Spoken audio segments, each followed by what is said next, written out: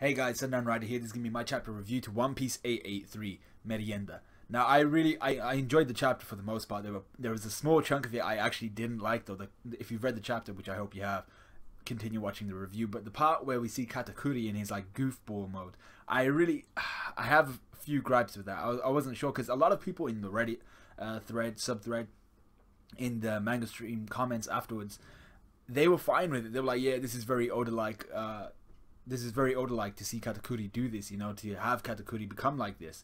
But I was like, the whole idea of Katakuri was that he wasn't following the trope of everyone else, you know. And I understand like the whole dimension of the um, Big Mom pirate crew and the family, but I didn't really want to see that from Katakuri. The only one who's been putting in work, the only one who was better than everyone else and competent.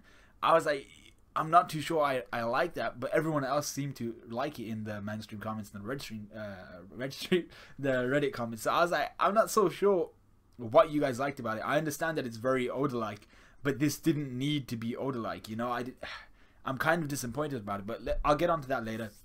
Let's talk about what actually happened in the chapter. So the first part is the cover story. Ideo, Bluegilly, and Jeet joined the fight between those two ships which were exchanging cannon fire last chapter um, and yeah, they're just, they're just going in. I liked I liked that actually. I want I want to see where it goes on to and who, whether they find someone they know on the on the ships, whether they find some form of, form of treasure or map or some shit. I don't know. But yeah, I want to see what goes on with that later on. So coming on to the fight, the initial fight scene between Luffy and Katakuri was yet again badass. You know, Katakuri showing exactly why uh, and exactly how competent he is by making sure that Luffy cannot utilize his Gear Fourth form. I just want to briefly mention here the manga stream comment between uh, the manga stream di- dialogue and the Jaimini's box dialogue in terms of their translation was they, they were miles apart this this chapter and I, I haven't actually read many Jaimini's box translations but this time especially for that part where Katakuri is making sure that Luffy can't use his gear fourth the Jaimini's box translation just made a lot more sense it, for the manga stream one he said something along the lines of uh, I'm just gonna shut up and observe uh, making it sound like he's gonna hold down Luffy and watch to see what he can do. Whereas that's not really what he, he would say. In the Jaimini's box translation makes much more sense where he's like, why would I let you, why if I've foreseen you using Gear Fourth, why would I let you use utilize a more powerful form? And that's why I'm holding you down. So he's not gonna observe shit. He's just holding him down because he doesn't want him to freaking use Gear Fourth. So that made a lot more sense. And then there were little parts all the way through this chapter where Jaimini's box translations just made more sense. So I'm not sure which which um, which group of people, which group of translators has the better translations. Uh, manga stream tend to accommodate more for English speaking audiences, so they, they change it up a little bit. But it has always been good. But Jaimini's box, I don't know, it just it just felt better. So let me know what you guys know of Jaimini's box. What how do they translate it? Do they accommodate for English speaking audiences, as in they try to make it easily understandable, or do they translate directly from Japanese, and that's why it makes so much more sense? I don't know, but let me know in the comments so that I can I can decide on who to follow because I always exclusively follow manga stream. Yeah, so getting back to the chapter, we see some frustration and impatience from Katakuri. Instead of making sure that Luffy was actually in fact dead, he tries to suffocate him. So you see Katakuri looking at his pocket watch. He says he's actually impatient in this chapter. He's like, ah, you know what? Fighting he's made me impatient. I really need to. I need to go. And uh, so, although he is usually competent, it looks like he may have been running low on energy. That's what that's what I got from this chapter. Katakuri may he's not sweating it out or anything, but he he's he's not that type of, type of character. You know, he needs to keep up his appearances. From what we've seen in this chapter, he definitely needs to keep up his appearances. So he may have been running low on on energy. He goes on to say that sugar is the source of his energy when the patissier uh, brings him some donuts and stuff like that and this therefore pushed him to rush and essentially try and bottle up Luffy whilst also trying to kill him, uh, while he re- try- trying to regain his strength and basically just lay back. Uh, because Katakuri thought it was job done, he didn't use Kenbun Shoku no Haki to see if Luffy would escape. And once again, I'm not too sure if I like this about Katakuri because he is meant to be one of the most competent antagonists we've had in this series for a while since maybe Lucci. I mean, Doflamingo was competent because he was just a freaking badass mofo. But Katakuri is meant to be competent in, a, in the mental sense, you know? He's meant to be aware of this shit. So I'm not too sure whether whether I like that or not, but I like the fact that we find out that sugar seems to be the source of his strength, uh, of his stretch, of his strength and his stretch, um, because he's a mochi, a mochi mochi being. Um, and he, he does need to refuel himself, like Luffy always has to refuel himself with whatever food he can find. But he, he loves meat, you know. So I, I like that we found that out. Uh, but Katakuri's his, his, his, his impatience seems to be what, what his downfall was in this chapter. Uh, and I, I, can understand that. I'm, I'm okay with that. That's that's fine. It wasn't so much that Katakuri uh, was in Egypt, you know, like we find out later. so Luffy's tenacity and will to survive has always been refreshing. You know, we we've seen it since chapter one all the way up to now. He's always always gonna survive.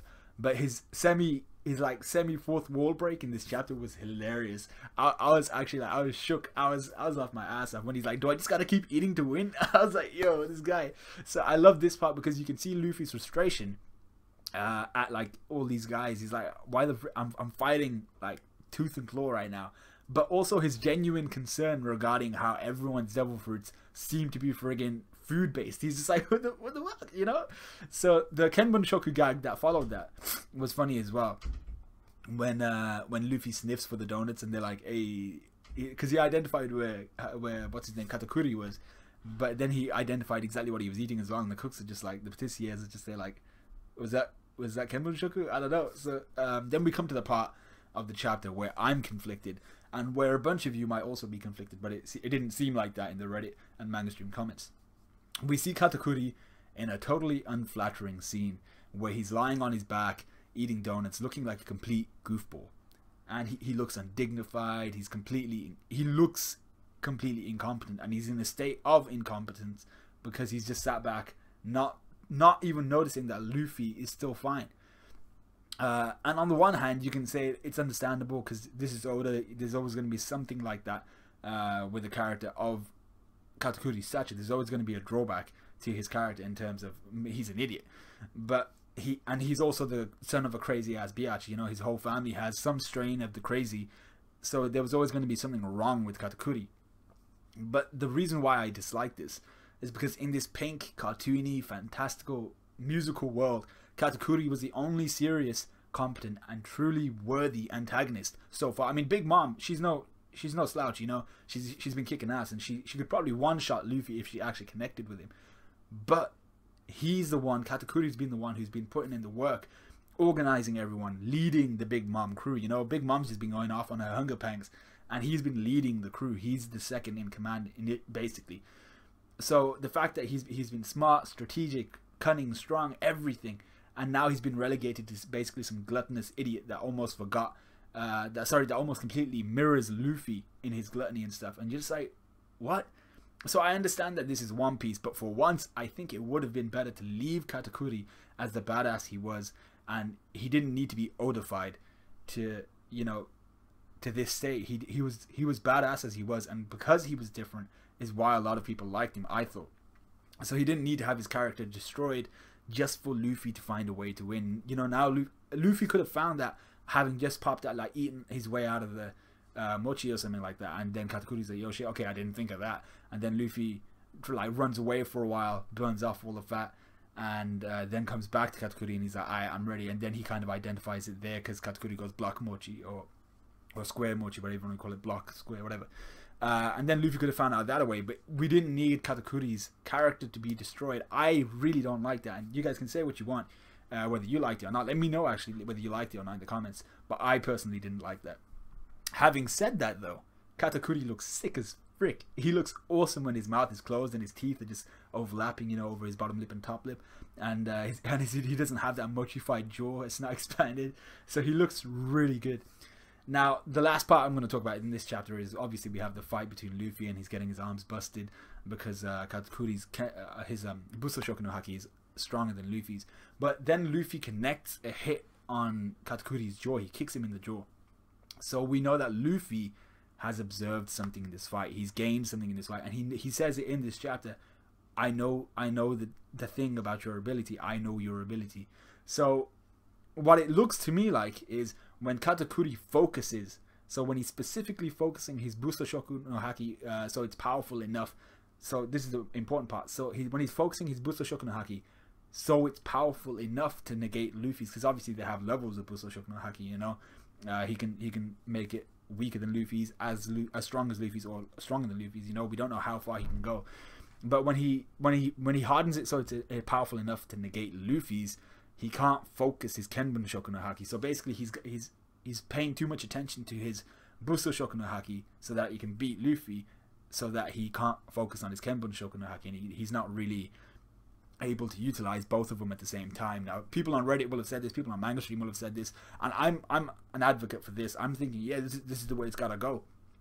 Additionally, he seems to wind up his attacks a little more in his block mochi form or in his square mochi form, allowing Luffy to possibly use his own Kenbun Shoku no Haki and retaliate faster. We know Luffy's been uh, using his instincts and just his base speed to dodge Katakuri, and his his reflexes are on an all time high in this in these chapters. Uh, so he's he's been able to dodge all of Katakuri's attacks, but also Katakuri, you see a panel where he's just winding up, uh, one uh, like a right jab or something, a right a right straight, and uh, Luffy's just like yo okay, and that's the moment when he kicks him. So Katakuri could just return to his original fighting style, but Luffy seemed to have uh, more. well, Luffy seems to sorry, excuse me. Luffy seems to have more stamina, and he really gauged Katakuri's style a couple chapters ago. That's why he was able to start dodging him and things like that. And then Katakuri uh, showed us his awakening. Katakuri needs to put Luffy out of commission though, because uh, obviously Luffy has the most stamina. So when you're fighting someone who has more stamina, you, your your aim is to basically put him out. If they, if they can go the full 12 rounds, but you're the powerhouse, knock him out, you know.